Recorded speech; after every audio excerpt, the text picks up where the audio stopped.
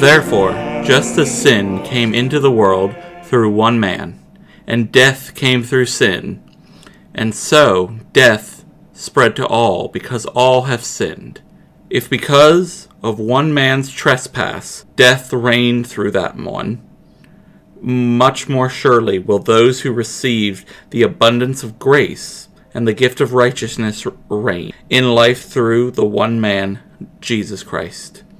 Therefore, just as one man's trespass led to condemnation for all, so one man's act of righteousness leads to the justification and life for all.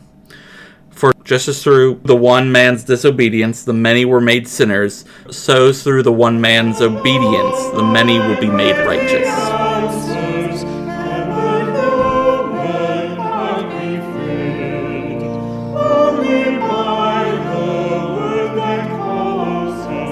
There are different opinions on what the disobedience of Adam and Eve means. I'll leave it to you to do your research and ponder its implications. The fact is that it was bad, very bad. Did God, quote, set them up to sin? I don't think so. That's not the God I have come to know. The God of Scripture made a way after humans chose their own path of disobedience.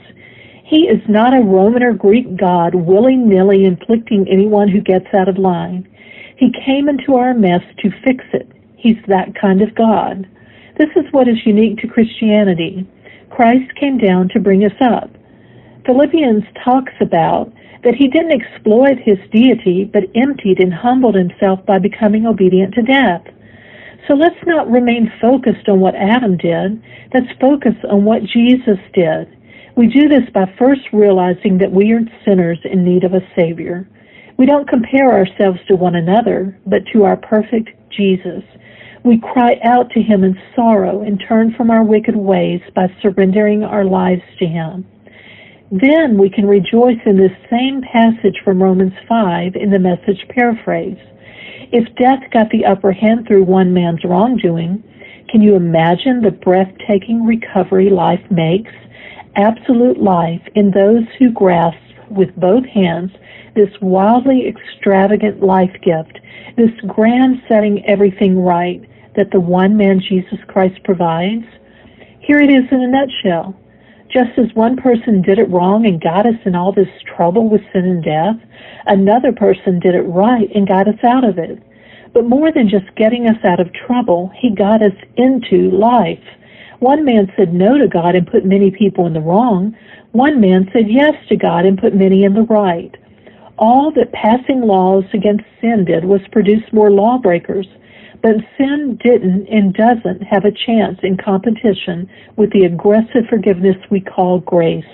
When it's sin versus grace, grace wins hands down. All sin can do is threaten us with death, and that's the end of it.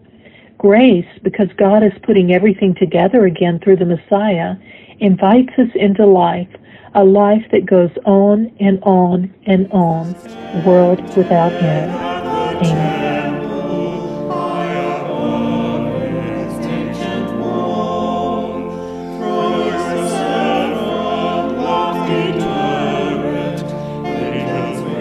Almighty God, whose blessed Son was led by the Spirit to be tempted by Satan, come quickly to help us who are assaulted by many temptations. And as you know the weaknesses of each of us, let each one find you mighty to save. Through Jesus Christ, your Son, our Lord, who lives and reigns with you and the Holy Spirit, one God, now and forever. Amen. Glory to the Father, and to the Son, and to the Holy Spirit, as it was in the beginning, is now, and shall be forever. Amen.